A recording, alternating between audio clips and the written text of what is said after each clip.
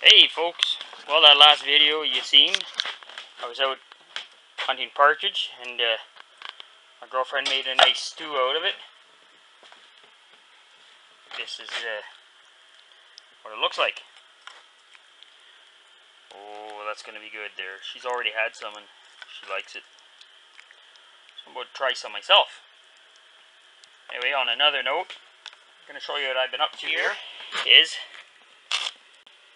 the corn I saved. Now, when when I uh, all I do to save my seeds is basically um, I'm gonna need to get my girlfriend to hold the camera. If she will come over and hold that for me, please. This is pretty much how I do it. I just take the corn like this. I've been saving other seeds too here, as you can see. Anyway, I just take this. I just roll it. It just comes off. That'll be my seeds for next year that I saved. I just let them dry out in here. They come off that they come off that cob so nice. That's actually what they look like. I will uh, plant those next year. I'll do another one here you can see. See this here? I just take it. Just roll it basically. You just gotta take your thumb and they'll come right off once they're dried. I'll put them out in the cold to stratify them and they should be good seeds for next year. Um, perhaps not all of them may grow, but at the price of them, if I get a few to grow, I'll be happy. Now I do have in here, this is a white pine. What I did was, I dried them out too. I don't know if you can see, that's white pine seed right there, you see? That's the, that's the actual seed right there. I will stratify those as well. They just come right out of the inside here. You let them dry and then they just they just basically open up and fall out. So I'll plant those. They were laying on the ground. Now these guys here, this here, not sure. I believe that's a white white spruce. But anyway, he's he's just starting to open up in the heat here.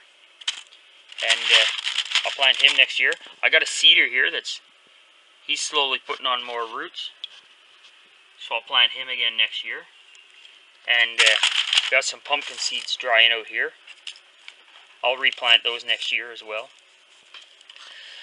Yeah, so just an update. Um, next video I will be doing, I will be uh, loading the water jugs in the in the Jeep and going back to get some water there at the springs. So uh, perhaps you may find that interesting, perhaps you may not. But anyway, that's uh, so far that's what we got for that's what we have for uh, corn mixed in with some white pine and uh, I haven't even done like I got two of these two of these containers there. These here are all dried right out. Um, give you an idea right now what you get off one cob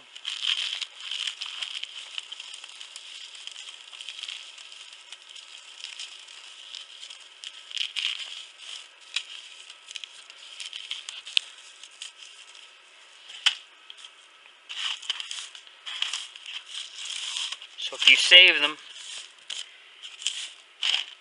it does not take too many cobs of corn. These are just little cobs. It doesn't take too many cobs of corn to save you four or five dollars on seeds if you got to buy them in the spring. So what I do. Save my seeds, plant them next year. That way I don't have to buy them in the spring. Okay, like I say, next video is going to be me going to get water. You might find it interesting, you might not. Anyway, take care, guys. Talk to you later.